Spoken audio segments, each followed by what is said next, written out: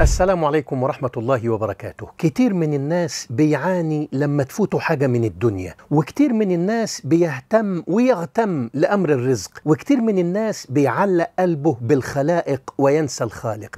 نسأل الله تعالى أن يوسع علينا وأن يبسط لنا من الأرزاق الحلال فيما يرضيه وأن يعيننا على استعمالها في طاعته. أربع آيات من كتاب الله عز وجل. سوف تريحك أيما راح حين تقرأها. حدثني عن قلبك بعد ما تقراها كل يوم صباحا ومساء بإذن الله. أضمن لك إذا توكلت على الله حق توكله أن تكون من أهل اليقين وأن يكون لهذه الآيات الأثر البالغ في طمأنينة قلبك وسكون نفسك وزكاة روحك وصلاح بالك وحالك. أربع آيات آيات من كتاب الله تعالى لا تبالي بشيء من أمر الرزق إذا قرأتها صباحا ومساء. أربع آيات من كتاب الله تعالى تكتفي بها عن جميع الخلائق وتعلق قلبك بالله الواحد الخالق. أربع آيات من كتاب الله تعالى إذا قرأتها صباحا ومساء لن تبالي بعدها ما أصابك من الدنيا ولا ما فاتك منها. اللي علمنا حكاية الأربع آيات الكريمات دول واحد من كبار الأئمة الأولياء الزاهدين التابعين. معروف بأنه هو راهب هذه الأمة. هو مين ده؟ عامر ابن عبد الله ابن قيس رحمة الله عليه المتوفى سنة 55 هجرية. بيقولوا أنه هو راهب هذه الأمة. بيقولوا لنا أن الزهد انتهى أمره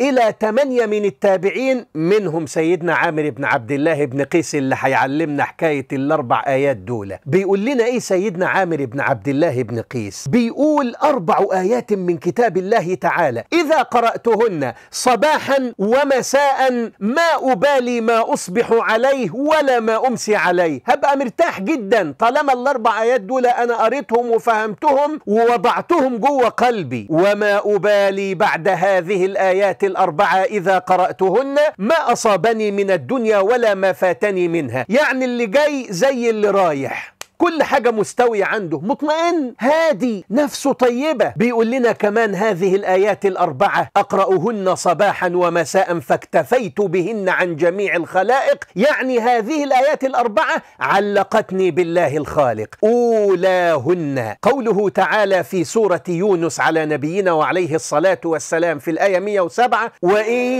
يمسسك الله بضر فلا كاشف له إلا هو.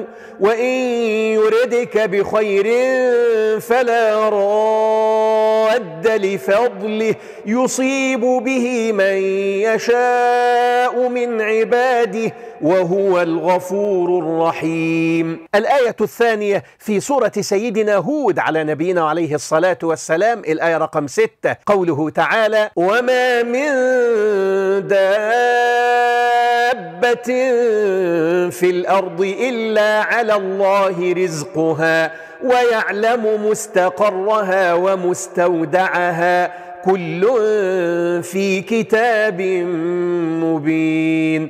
أما الآية الثالثة فإنها في سورة فاطر. يقول الله تعالى ما يفتح الله للناس من رحمة فلا ممسك لها وما يمسك فلا مرسل له من بعده وهو العزيز الحكيم. واما الايه الرابعه والأخيرة قوله تعالى في سورة الطلاق الآية رقم سبعة سيجعل الله بعد عسر يسرا. هذه آيات أربعة اقرأها في الصباح والمساء تطمن قلبك.